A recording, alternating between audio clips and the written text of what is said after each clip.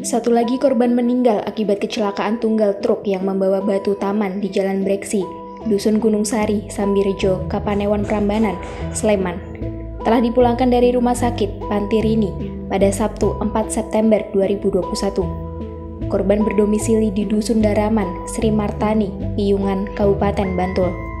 Kanit Laka Lantas Polres Sleman, Ibtu Galang Adit Darmawan menyatakan, MS dinyatakan meninggal dunia setelah berjuang menahan luka berat di bagian kepala. Luka tersebut akibat benturan hebat kala truk bernomor polisi AB 8242ZU tersebut mengalami remblong dan membentur pagar pekarangan warga, tepatnya di depan Gapura Dusun Gunung Sari, Sambirejo, Prambanan, pada Jumat 3 September 2021 malam sekitar pukul 20 lebih 4. Ia menambahkan, Korban saat ini sudah dipulangkan ke rumah duka untuk selanjutnya dilakukan pemakaman.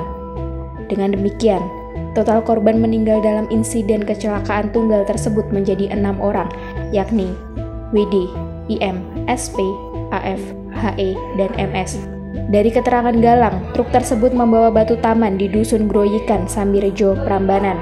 Rencananya, batu taman tersebut akan dibawa ke Dusun Draman, Piyungan, Kabupaten Bantul. Dalam perjalanannya, truk tersebut diduga mengalami remblong, sehingga laju kendaraannya tak terkendali lantaran kontur jalan di sana berkelok dan menurun. Sesampainya di depan Gapura Gunung Sari, truk yang membawa batu beserta 11 penumpang itu tergelincir dan membentur sebuah pagar.